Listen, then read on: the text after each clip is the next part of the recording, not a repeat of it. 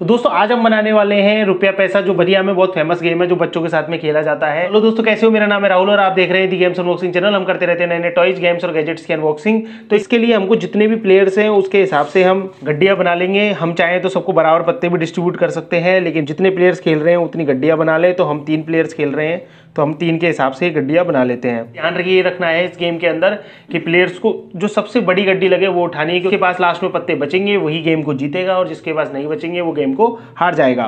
तो अब सबको बोलना है वन टू थ्री तब ये गेम हो जाएगा start. One two three.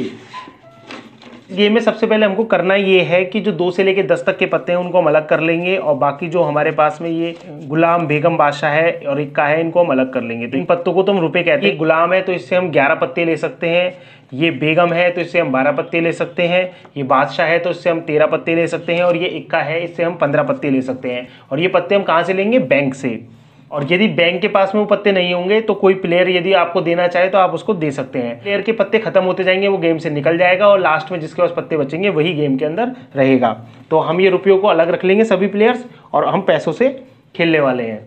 पैसे मतलब इन पत्तों से हम खेलने वाले हैं। प्लेयर टू चलता है तो अपने हाथ में आपको पत्ते बंदे रखने हैं और कुछ इस तरीके से आपको पलट के चलने हैं।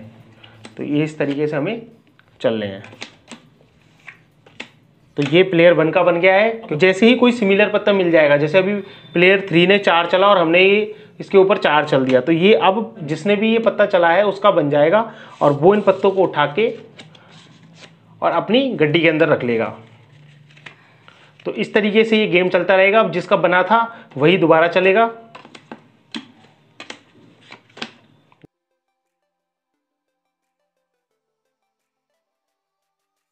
तो दोस्तों प्लेयर थ्री के पास पत्ते खत्म हो गए हैं तो अभी हम प्लेयर थ्री की बारी तक आने देते हैं इसको। अब प्लेयर थ्री बैंक में से पत्ते लेगा। तो अब वो सबसे पहले अपना गुलाम यूज़ करता है और गुलाम को नीचे रख देगा, उल्टा करके जो सेंटर में पत्ते रखे हुए हैं, और इनमें से वो ग्यारह पत्ते लेगा। ऊपर के पत्ते को हम अलग से निकाल देंगे, क्योंकि ये हम नहीं देंगे उसको, और अब हम ग्यारह पत्ते देने वाले हैं प्लेयर थ्री को। एक, दो, तीन, चार, पाँच छः सात। तो इसमें चार पत्ते कम है तो जैसे ही सेंटर में चार पत्ते और आ जाएँगे तो ये प्लेयर थ्री को मिल जाएँगे और उसके पूरे ग्यारह पत्ते उसके पास हो जाएँगे। तो अब इसमें काफ़ी सारे पत्ते इकट्ठे हो गए हैं तो प्लेयर थ्री को जो चार पत्ते बच रहे थे वो हम दे देंगे। अब प्लेयर जो टू के पास भी पत्ते खत्म हो गए हैं, अब बैंक के पास भी पत्ते नहीं है तो कोई प्लेयर यदि उसको पत्ते देना चाहे तो उसको दे सकता है। तो प्लेयर वन के पास काफ़ी सारे पत्ते हैं तो वो प्लेयर टू से ये बेगम ले लेगा, बेगम अपने पास रख लेगा इसको और इसको बारह पत्ते दे देगा। तो हम बारह पत्ते दे देते हैं। एक, दो, तीन, चार, पाँच, छः, सात, आठ, नौ, दस, ग्यारह, बारह। तो दोस्तों, हम जितने ज़्यादा ये रुपए इकट्ठे कर लेंगे, हमारे जीतने के चांसेस उतने ही बढ़ते जाएँगे। अब प्लेयर टू की बारी। तो ये बीच में से जो पत्ते हैं, वो जो ये बने हैं तो सारे हमारे हो गए और हमारे पास इसके साथ ही एक रुपया भी आ गया है, ये भी हम हमारे कलेक्शन में रख लेंगे और इन पत्तों को रख लेंगे। तो इस गेम में प्लेयर वन ही जीतता जा रहा है और फिर दोबारा से चलेगा।